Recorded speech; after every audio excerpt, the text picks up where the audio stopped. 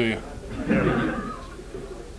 We don't, we don't talk to punters a lot in post game, what do you mean to get that game on up there? No, it meant a lot. I just, you know, I kind of try to show up every week and, and do my job for the team. I'd love to not punt at all because that means we're doing well, but to, to have that kind of game and, and also get a win is great. The 60 yarder that rolls out at the one, how much of that, I guess, is a, it's got to be a little bit of luck involved in that, right? It's a, it's a good point. Um, people think that you know we control the bounce and all that stuff, but you know at the end of the day, it leaves our foot. We're kind of out of control because the wind can affect it and all that kind of stuff. So um, usually when you hit a spiral punt and it turns over, um, it bounces to the right. So just thankful that it did that time. How often do you practice corner? Uh, so every Wednesday at practice, we work the entire field. So I'm working on all kinds of punts. I mean, you guys saw me during um, training camp doing that, and we do the same thing every single week. So I practice at it. I do it in warm-ups every single uh, game. So I'm just kind of second nature now. Were, were the two that went out of bounds in both cases, were, is that what you were going for, that they would land out of bounds? Yeah. And, and did they get even closer to the goal line than Yes. you were attempting? Yeah, so my goal is really to, to pin it cl- as close to the sideline as possible every single punt. Um, easier said than done because, you know, it's a moving object with another mov- moving object. But um, yeah, I'm aiming, I'm aiming at those corners, especially when we're near the 40 yard line. Um, really trying to put hang time underneath it. I think it was my last punt um, where Ty was down there. That's kind of the intent there. Gunner's down there um, collecting the ball. So, so yeah, that is the intent. So did the first one actually go farther than you were hoping? Like, when you saw how far it went, were you like, did you think? Yeah, I think it hit about the five yard line. Um, ideally, that punt lands about the eight yard line, so they fair catch it, and you kind of don't, you kind of take the bounce out of it. But you know, all works out. Do you remember a game where you had this much effect on a game? I had a couple games in college where I uh, played in the Big Ten, so you know, punting conference, which is great. Uh, uh, so it's nice coming up to the Northeast and stuff like that uh, to play, um, especially in September and October when it's not cold. Uh, but I had a couple games at Iowa where I pinned like five or six punts inside the 10 yard line.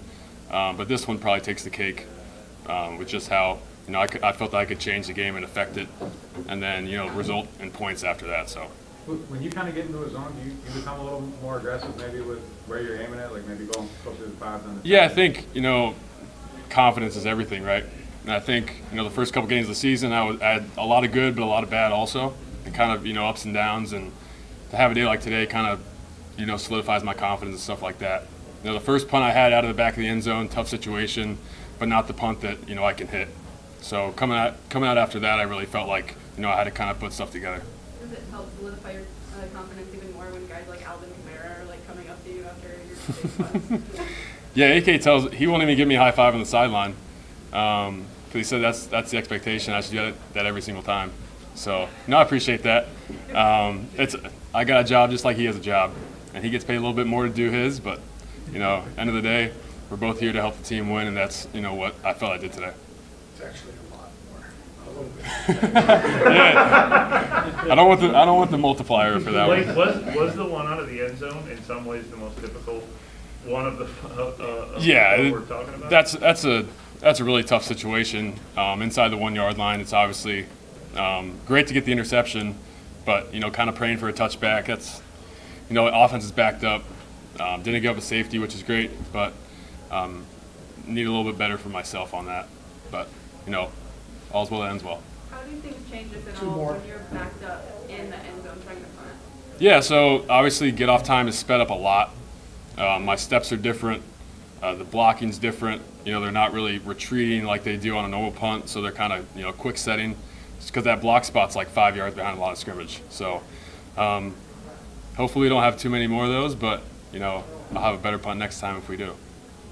Do you have uh, like more messages on your phone uh, today than you typically do? Yeah, I got posted by the NFL Twitter account, so that's kind of been blowing me up. That usually doesn't happen, but um, yeah, I just I'm probably gonna turn it off soon. Uh, my family's outside. I'm gonna get spend time with them, and you know, kind of stay grounded in that. So, Punters are people too. no doubt, punters are people too. Appreciate you guys. Big Ten for more punters Sean conference. Lattimore?